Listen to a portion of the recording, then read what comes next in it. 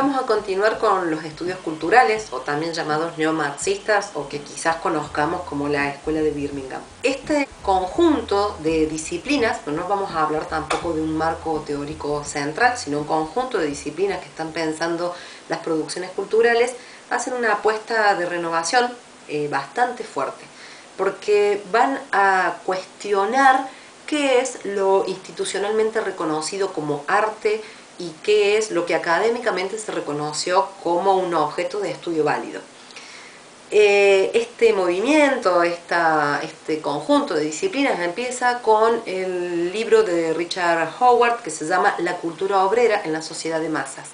Va a ser la primera vez que un académico toma producciones artísticas eh, masivas como las radionovelas o como las novelas televisivas o la música de las culturas populares lo que le interesa a Hogarth es ver cómo estas producciones artísticas impactan o no en la configuración de ese particular grupo social que es la clase obrera británica.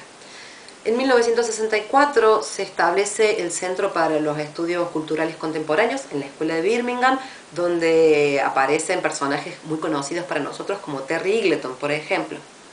Ahí lo que van a, generar es em, dos movimientos que nos parecen eh, súper nucleares para pensar en las prácticas de enseñanza de la literatura. La primera es todo lo que aportan como renovación de los objetos. ¿no? Al cuestionar esta idea de que hay una alta literatura o de que hay una alta cultura y una baja cultura e incorporar lo que siempre fue dejado de lado, renuevan los objetos de estudio. Así aparecen los estudios queer o los cuestionamientos de los géneros literarios desde una perspectiva de género, como hace Judith Butler.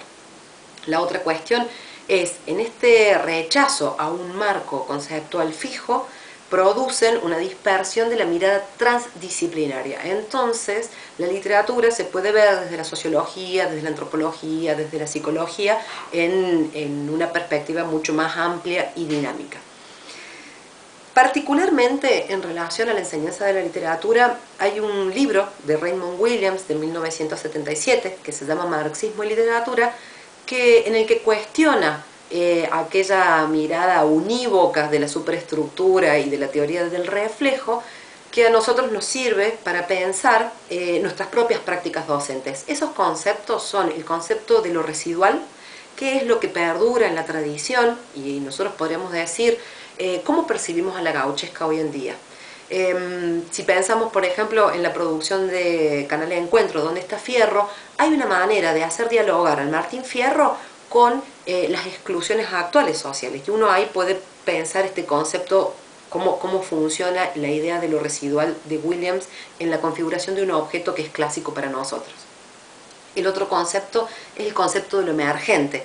Nosotros habíamos hablado al principio quizás como de, ese movimiento de ola, ¿no? donde hay algo que sube la cresta y algo que baja, que es un poco la, imagen que, presenta Raymond Williams. Y en relación a lo emergente, nosotros tendremos que pensar qué prácticas, porque lo emergente no es solamente una cuestión de contenido, es una cuestión de prácticas, qué hacen los sujetos en sus prácticas lectoras. Y entonces podríamos empezar a preguntarnos nosotros también cómo leen estos sujetos que tenemos al frente.